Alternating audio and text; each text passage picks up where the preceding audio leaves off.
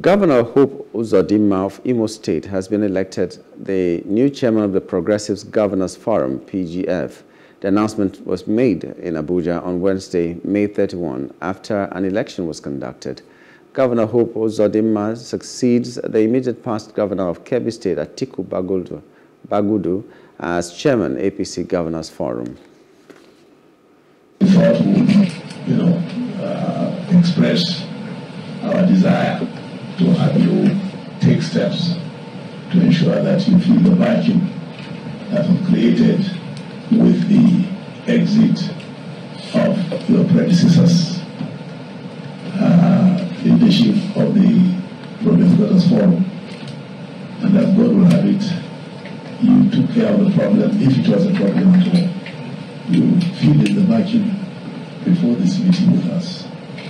It's our hope and prayer that God will continue to guide you that uh, will be doing in administering our people. Under my watch, very close